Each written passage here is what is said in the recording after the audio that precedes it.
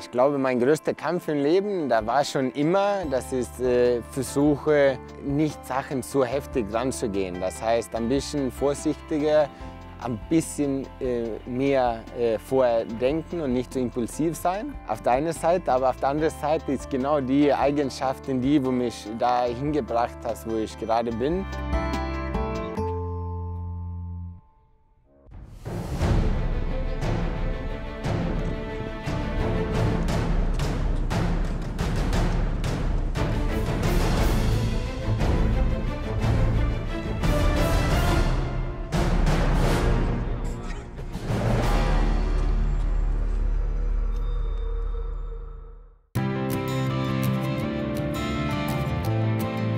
Früher habe ich mein ganzes Leben nur für Motorsport spendiert. Jetzt, seit ein Jahr ungefähr, wenn der kleine Sohn Mats auf die Welt gekommen ist, dann ist alles komplett anders. Jeden Tag lernt der Kleine was Neues und ich freue mich schon richtig mit, äh, mit ihm, mit meiner Freundin Heidi und die zwei kleinen Hunde.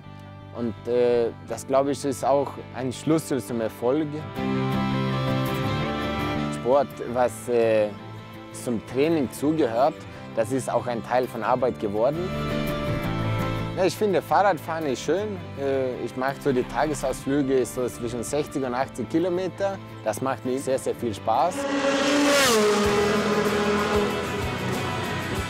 Mittlerweile bin ich jetzt schon derselbe, ein von den alten Hasen. Das heißt, ich habe schon vier Jahre DTM gefahren und äh, auch was erreicht. Und äh, das ist schon ein großer Unterschied von Gefühl, weil die Erwartungen ist komplett anders. Die Erfahrung, was ich gesammelt habe über 10, 11 Jahre, das kann man auch niemand eins zu eins in einer Woche übergeben, sondern es sind auch die Sachen, wo, wo jeder Junge selber lernen muss. Sicher ab und zu gebe ich einen Tipp, dann macht das auch innerlich ein bisschen Freude, jemandem zu helfen.